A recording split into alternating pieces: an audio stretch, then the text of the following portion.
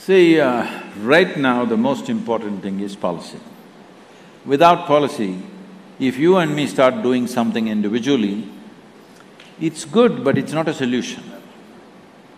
We have, uh, you know, we have transformed in the last twenty-seven years about 130,000, 1.3 lakh farmers into tree-based agriculture. Their incomes have gone up anywhere between 300 to 800 percent. Soil organic content has come up significantly, water tables have come up, everything is great. But still it's not a solution. 130,000 is not a solution. Now we are working in the Kaveri basin which accounts for 83,000 square kilometers and 5.2 million farmers. Even if we manage to do that, it's still not a solution because soil ecology needs to improve globally. These uh, state borders and national borders mean nothing for life, it's only a human problem. That we draw a line and we believe this line is absolute. For the sake of administration, okay, you rule that one, I rule this one, is a different matter. But you think this is absolute, that planet is a piece of… is a cake and you have cut it these pieces and you're going to take your own piece and go away somewhere, it's not going to work like that because the microbial life is a global phenomenon. It needs to happen that way. This is why this movement is a global effort to change policy. Unless every nation does that, there will be no significant difference. Why I'm saying this is, see, even if you improve your soil, let us say you have thousand acres and you make it fantastic.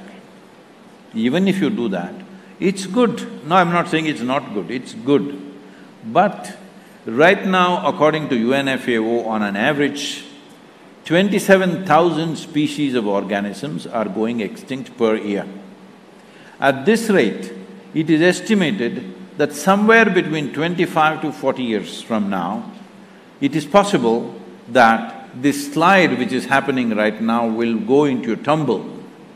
Once it goes into a tumble, there is nothing you can do. So if your thousand acres is very rich, you may survive for another two, three, four, five years more than the rest. But it will also hit you because microorganisms cannot be cultivated just in your thousand acres. It needs to happen all around. This is why policy change is very important. The problem why these things have not happened the way it should happen is, there is no strategic approach. Uh, everybody wants to roll up their sleeves and want to do something today. So what will you do? You will go and fix in your… fix your kitchen garden. Uh, that's very cute, but that's not a solution.